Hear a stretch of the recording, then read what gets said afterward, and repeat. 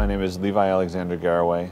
I'm at the Dana-Farber Cancer Institute and the Broad Institute, and I'm a prostate cancer genomics researcher.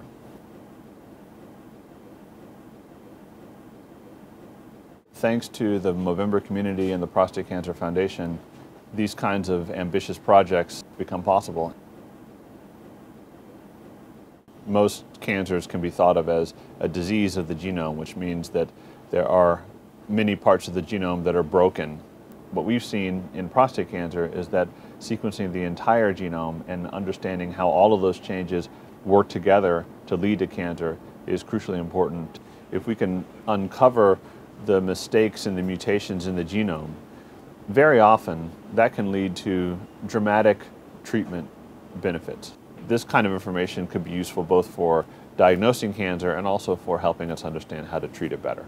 In the future, it's conceivable that many, if not most, prostate cancer patients will have some type of genetic or molecular study of their cancer. This is the kind of information that can lead to the types of breakthrough treatments that we've seen more and more in many other cancers. We're very grateful to members of the Movember community for all of their support in raising money for prostate cancer, and clearly these types of efforts are enabled by those contributions.